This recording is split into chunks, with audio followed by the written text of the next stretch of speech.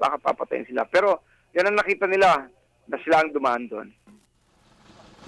Patuloy namang pinaghahanap si Banarin ang Patuan na isa rin sa mga suspect sa Maguindanao Massacre. Andrea Bautista, News 5.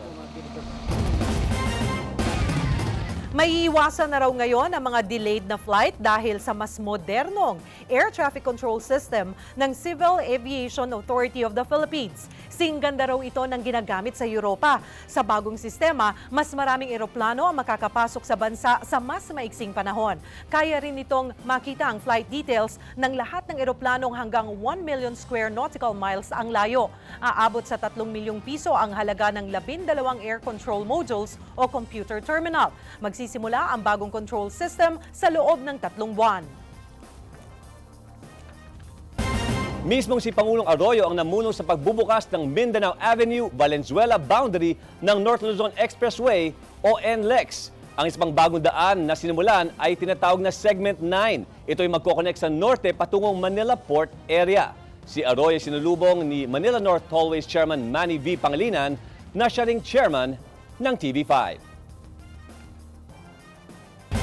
Meron na raw sagot sa mga taong naloloko pagdating sa bentahan ng lupa. Ang detalye ng mapping system na yan mula kay Faye Tobias. Eksperto raw sa lupa ang kumpanyang Kreba. Gamit ang tinatawag nilang MapSys, pwede nang masilip ng potential buyers at investors ang lupa kahit hindi pumupunta sa mismong site. Kailangan mo lang bumisita sa MapSys website, pero hindi rin ito libre. You you would normally need a geodetic engineer no, to do that. Magkano ibabayad na siya geodetic engineer? And all of this you get from the comfort of your home or your office or wherever you have your laptop or your PC and your printer. Kung agricultural land ang iyong balak bilhin, makikita raw kung hindi pala pwedeng taniman ang ibinebenta sa inyo. Nakalagay rin sa MapSys ang distansya sa pinakamalapit na fault line. Malalaman mo rin kung hindi pwedeng tayuan ng kahit anong establishmento ang ibinebenta. Sa batas kasi natin, ang forest lands hindi alienable. So malalaman mo kagad, uy, muna, bakit pinagbibili niya doon eh? Hindi naman, da, hindi naman alienable yan. So right away, it, it's, it gives you a signal, at teka muna, eh, ah, kahit pinagbibili mo sa akin ito, I should not buy this, no? kasi this is inalienable eh. Lahat ng detalye ng MapSys galing sa zoning maps ng gobyerno. May impormasyon sila para sa buong Pilipinas, pwera lang sa ARMM. Faye Tobias, News 5. Mga pulis at rallyista sa Athens, Greece nagkagirian at lalaki sa China na naksak ng bata. Ang aksyon abroad hatid ni Joel Gorospe.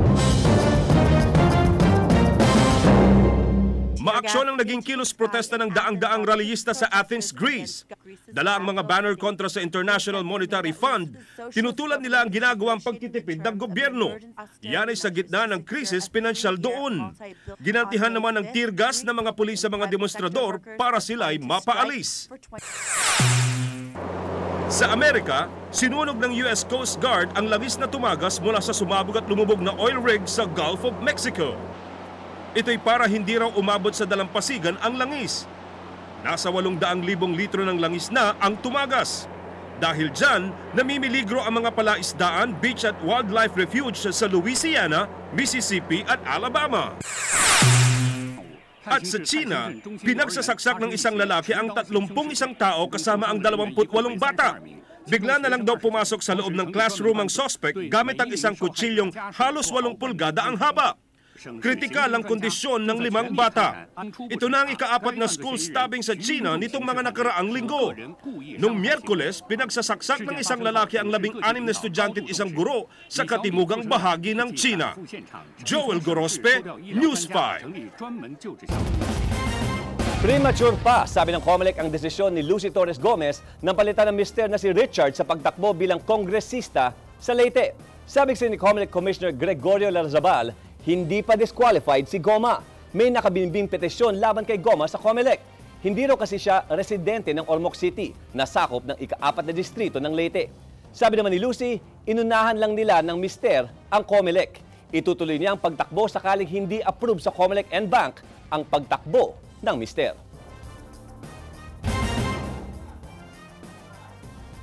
Sa showbiz aksyon, nandito ngayon sa bansa ang sikat na hip-hop dancer na si Lenaya Stracker o mas kilala sa palayaw na Tweety.